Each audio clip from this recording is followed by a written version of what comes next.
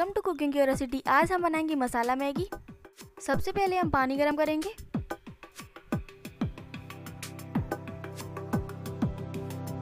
उसमें डालूँगी स्वाद अनुसार नमक। अब इसमें डालेंगे हरी मिर्च। मटर। और प्याज। और अब डालेंगे टमाटर। आप चाहें तो अपनी पसंद की और भी सब्ज़ियाँ डाल सकते हैं। अब इसमें डालेंगे मैगी।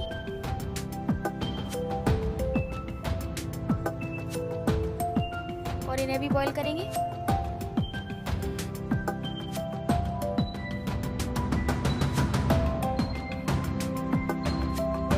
और अब डालेंगे मैगी मसाला।